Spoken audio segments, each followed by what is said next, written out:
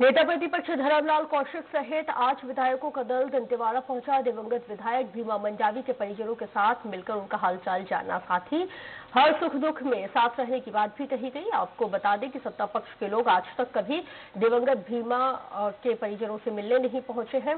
ये यहाँ पे भारतीय जनता पार्टी का आरोप है, लेकिन आपको ये भी बता दें कि जिस वक्त भीमा मंडावी शहीद हुए थे, उस वक्त प्रदेश के मुखिया भूपेश बघेल उनके अंतिम संस्कार के दौरान पहुँचे थे और पीड़ित परिजनों को उन्होंने ढांढस भी बंधाया था। किंतु ये अत्यंत दुर्भाग्यजनक घटना है और दुर्भाग्यजनक बात है कि शासन के जवाबदार कोई भी मंत्री आज तक परिवार के पास मिलने के लिए और उनके सुख जानने के लिए यहाँ पर नहीं मिले। आज छत्तीसगढ़ का पूरा विपक्ष दंतेवाड़ा में मौजूद है।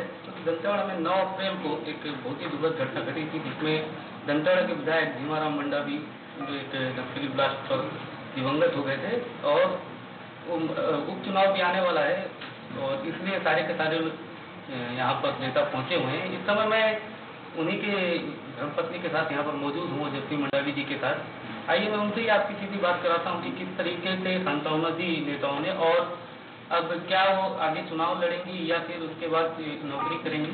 क्या है उनकी इच्छा? जानने की कोशिश करते हैं। पता नहीं क्या है? आज नेता लोग आए आपसे क्या लगा आपको?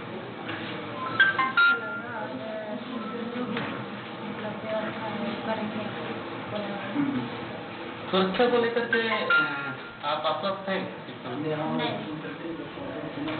तो ये अभी इसके बाद में यहाँ पर चुनाव होने वाला है।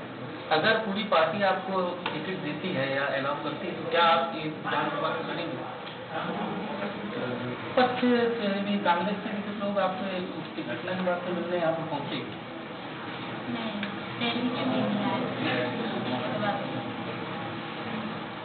कैसी सुरक्षा अभी आप चाहती है? क्या सुरक्षा मतलब जो आपके पास बच्चे तक है आपको क्या लगता है? कम हाँ?